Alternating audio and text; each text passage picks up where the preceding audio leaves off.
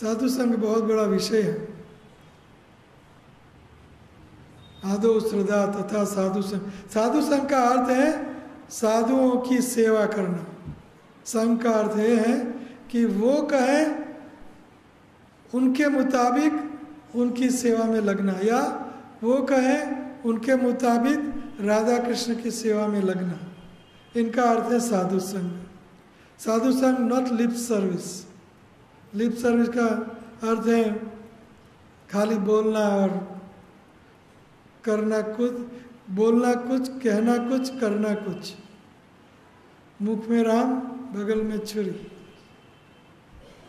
ये साधु संघ नहीं है। साधु संघ मीन्स साधु मेरे से क्या अपेक्षा रखते हैं?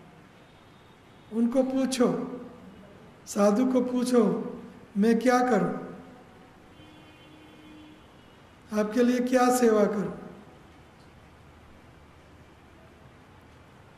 तो ये साधु संघ है। साधु संघ इज़ आर्ट साधुओं के साथ संग करने का, की कला सीखनी चाहिए।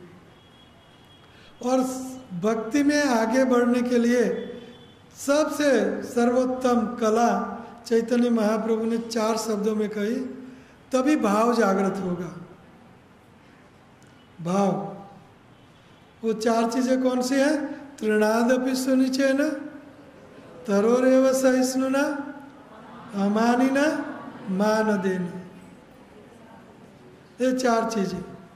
न धनम, न जनम, न सुंदरिम कविता व जगदीश काम। हम क्या करते हैं? हा धनम, हा जनम, हा सुंदरिम हा कविता पंडिताई और मान मैं मैं मुझे मान मान मुझे गद्दी गद्दी का मालिक मैं पहली प्लेट प्रसाद की मेरी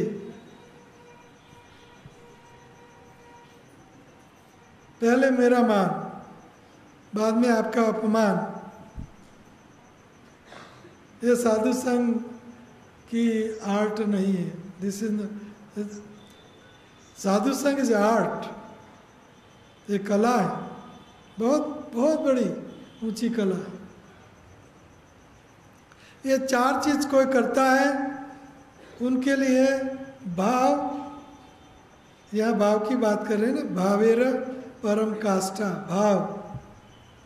ये चार चीज़ जो करेगा उनके लिए भाव बिल्कुल नज़दीक है। तृणादपि सुनिचे न तरोरे अमानी न मान दे नयनम अश्रुधार या गिरा। पुलक निचितम वपु कदा। तब नाम ग्रहण।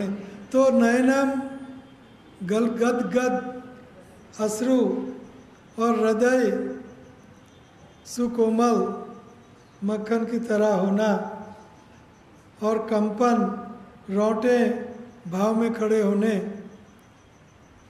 ये भाव की भाव की निशानी, ये भाव का चिन्ह है। भाव के चिन्ह। सत, अष्ट सात्विक भाव। ये भाव आगे आएगा, अभी तो हम हम साधु संघ की बात कर रहे हैं। तो ये साधु संग करने का तरीका है। तृणादपि सुनिचय तरुण अमानिना मान देना ये साधु संग करने का तरीका है।